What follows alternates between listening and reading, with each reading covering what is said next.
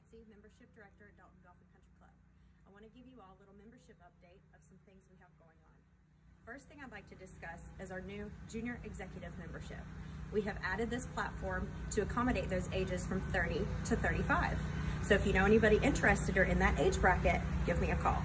Second, we have added a portion to our new non-resident membership where it is now not just 50 air miles from our country club, but also out of state. So if you have anybody interested that's living in the Tennessee area and they want to come down to the Dalton Golf and Country Club, go ahead and let's set up a visit.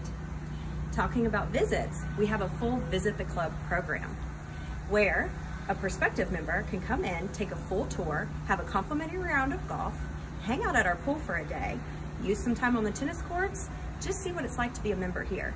And as a member who could be sponsoring them, you can enjoy that day with them as well, all complimentary.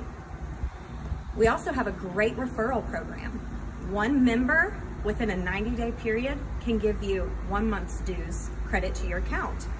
If you get up to four members in that 90 day period, you can have a whole year's worth of dues credited to your account.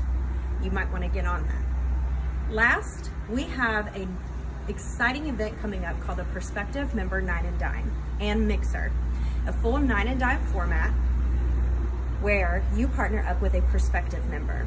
Bring them out here, let them see what it's like to enjoy one of our top events here at the Country Club, as well as a nice mixer following up.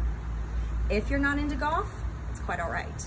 Bring that prospective member to the mixer and they'll enjoy themselves.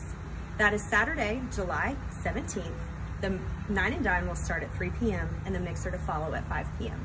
If you've got any questions, let me know. Also, you're my main recruiter, so go out and bring us some new members. Have a great day.